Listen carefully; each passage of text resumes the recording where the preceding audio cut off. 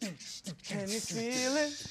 Now it's coming back. We can steal Blue, it. your first word is can you feel it? I dress Can down? you feel it? Yes. Diana's freaking out. I'm tired. I'm worn out. I'm ready to do whatever she tells me. She says jump. I'm, I'm gonna jump.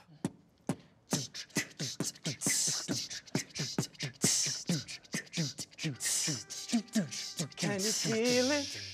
Now it's coming back. No, We can no. You, one of your things that you rely on, you do this. Can you feel it? No. Plant your feet still and be like, holy crap.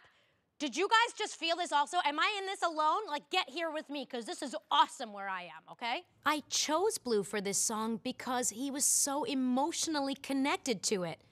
It's day three, tomorrow's competition, and today he doesn't seem to be connecting to the song at all. I don't know if the pressure's getting to him because he has to carry the solo, but I quickly have to get him reconnected to this song, or we're gonna lose tomorrow. You only need one person to be out of step or out of tune, and the whole thing starts to unravel. This could be Acalicious or an Aca disaster.